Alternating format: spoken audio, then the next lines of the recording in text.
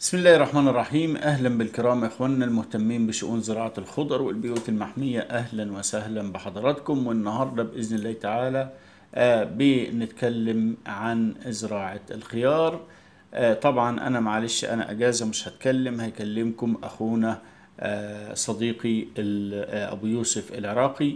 آه، ده له تجربة ما شاء الله تعالى في استراليا. بصراحة إبداع عايزكم تشوفوها وتركزوا معاه عشان الناس اللي فاكرة إن الزراعة يعني صعبة جدا. لا الزراعة آه، بس كون إنك تركز مع حد يكون محترم بيحترم نفسه وبيحترم آه، كلامه ويحترم المعلومة اللي بتطلع منه. والحمد لله إحنا ما بنخبيش عليكم أي حاجة وإحنا صايمين والله على ما أقول شهيد. اسمع كويس شوف الراجل بيقول إيه ومن أول التجهيز بتاعه للزراعة الجميلة دهيا. آه، الزراعة بتاعته ديت بتنفع طبعا آه، في ممكن لو عندك حتة أرض ملاحة ولا حاجة ممكن تعمل الطريقة دي آه، وهنشرح لكم من أول ما حط الشتلات بتاعته لحد إن شاء الله آه، تعالى ما نجمع وهو يعني الراجل متبرع بأن هو يشرح لكم الشرح ده كله. ف آه، يعني عايز يعني من حضراتكم كده تركزوا شوية واللي مش فاهم حاجة برضو بإذن الله تعالى بنعملها له. وأسيبكم مع أبو يوسف. شكرا لكم. السلام عليكم ورحمة الله. كيف الحال؟ ورمضان كريم على الجميع. آه اليوم حبينا نشارككم آه زراعة ال- الخيار من ال- ال- الشتلة وليس البذرة إلى الثمرة. وهذا اليوم الحمد لله كملنا نقل ال- البادرات الشتلات كاملة. طبعا هذه الزيادة التعويضية إذا يصير آه، عندنا نقص. والحمد لله آه، كملنا اليوم كل ال- الشتلات. طبعا الشكر أول شيء لقناة بانوراما زراعية بشكل عام والدكتور رجب بشكل خاص لأنه هو المشرف عبر الأثير على آه، المشروع آه، بكل التفاصيل واللي يعني وبكل دقة وبكل صغيرة وكبيرة. يعني إحنا نشكر التكنولوجيا اللي اللي تستخدم للأشياء المفيدة كهذه. بصراحة أنا كمستجد على الزراعة. آه، ما كنت أعرف أوصل إلى إلى هذا المستوى قبل ما آه، يتدخل الدكتور وهذه ليست مجاملة طبعا. آه، يعني أي واحد يتابع اليوتيوب أو يشوف الفيديوهات راح يعرف أنه ال- الإمكانية ال- بال- بالزراعة والخبرة مو بس ال- ال- الشهادة آه، إلى آخره. فمن اليوم آه، إن شاء الله نكون اسبوعيا. هذا الخيار شتوي. شتوي لأنه آه، بأستراليا لأنه ال- التوقيت الصيف عكس آه، الشتاء بالصيف والصيف شتاء عندنا. لذلك إنه آه، ممكن نطرح آه، مشاكل الخيار الشتوية. عندنا موسم سابق صار عندنا مشاكل فيه وراح نطرحها ونطرح الفروقات والمشاكل الري مشاكل الرش آه، التسميد آه، من البداية إلى النهاية وبحلقات متتابعة وممكن يندمجون عند آه، بالقناة لاحقا. آه، آه، ممكن هذا كوصف بالبداية تعريفي مثل ما تفضلت. عمر النبات اليوم ممكن من 10 من 15 إلى 20 يوم. آه، واليوم قلنا تم نقله وهو بشكل صحي مثل ما تشوفون. إجراءات آه، بالبداية إجراءات احترازية ثلاث أنواع فقط اللي استخدمتها. مادة آه، مثل ال- ال- الصابون هي اسمها باث إكس أو مع الكلور وهذا مجرد تنظيف تنظف ال- الفلين box هذا اللي تحت حتى لا يكون في باقي رطوبة أو باقي آه، طحالب موجودة.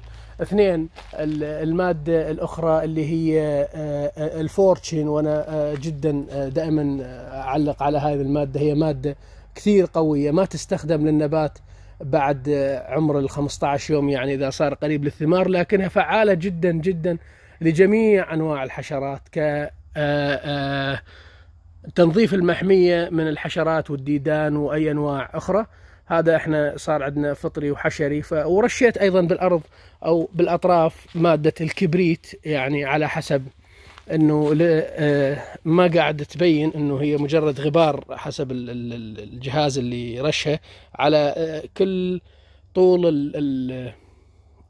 القناة اللي تحت ال- النباتات هذه كلها آه، مرشوشة بالكبريت يعني يقلل يعني أول ما هو عنده سيطرة على ال mite اللي هو ال mite spider أو نوع من أنواع العناكب ثاني شيء هو قد يساعد ولو بجزء قليل إنه من آه، قلة الرطوبة أو الحفاظ على آه، من الأوراق آه، البياض الدقيقي يعني ممكن يساعد بالمستقبل فهي بس ثلاث أشياء للرش وهاي احترازية طبعا. مو مو يعني كل اللي اللي راح يصير إن, شاء الله وقائي قبل حدوث الأضرار لأنه بعد الأضرار العلاج ممكن مرات يلحق ومرات ما يلحق.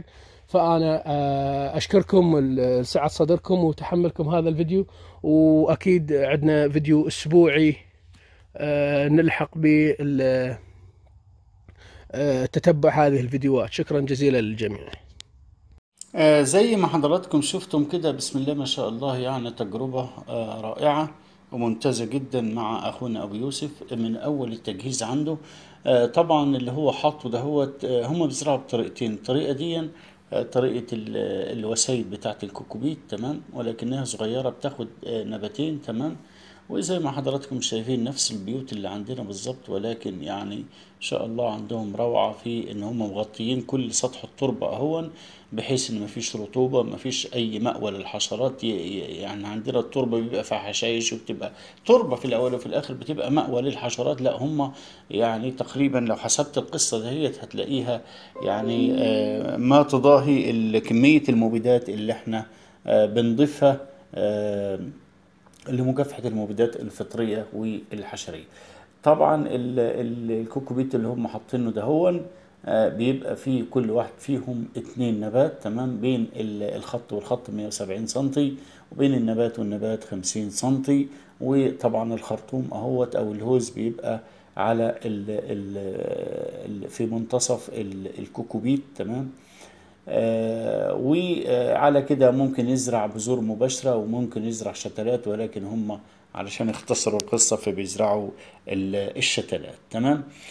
آه، طبعا آه، في بعد كده طبعا بيبدأ بالمحلول المغذي اللي هو ال A وال B تمام؟ وبإذن الله تعالى برضو الراجل هيتولى إن هو يشرح لنا قصة المحلول المغذي في ال A وال B بإذن الله تعالى كتابة ويعني إذا كان في ناس بتخفيه كتير فبإذن الله تعالى آه، هنشوف آه، مع أبو يوسف آه، كل الحاجات اللي, حضراتكم شايفينها دهيا من أول ما بدأ يزرع مرارا بالمكافحة مرارا بالمحلول المغذي اللي بيحطوه انتهاء بالجمع والحصاد بإذن الله تعالى. شكرا لحضراتكم.